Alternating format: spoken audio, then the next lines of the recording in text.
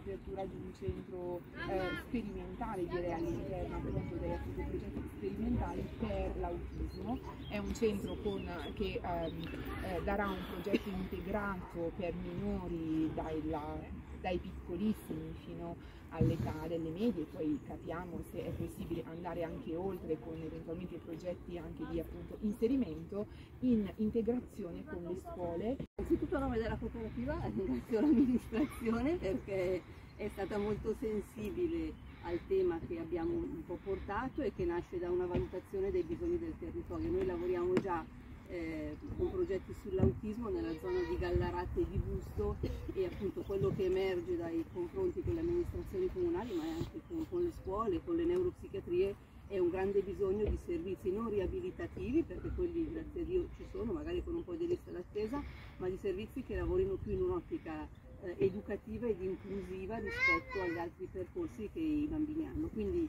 eh, questo spazio che insomma, è bellissimo e che eh, andremo un po' ad allestire, ad arredare nelle prossime settimane vuole essere proprio un punto di riferimento per le famiglie, per le scuole, per il territorio, per favorire l'inclusione e un lavoro specifico per, per, questi, per questi, bambini. Eh, per noi è vabbè, veramente importante, una grande occasione. Eh, abbiamo già l'esperienza di Pollicino a Gallarate che è un servizio analogo a quello che sorgerà qui a Marnate ed è un servizio che le famiglie apprezzano moltissimo. Eh, si è creata una bella rete, una rete di supporto molto solida con le scuole, con il territorio, con la neuropsichiatria, con AIAS e rendiamo conto che rispondiamo a un bisogno sempre più emergente.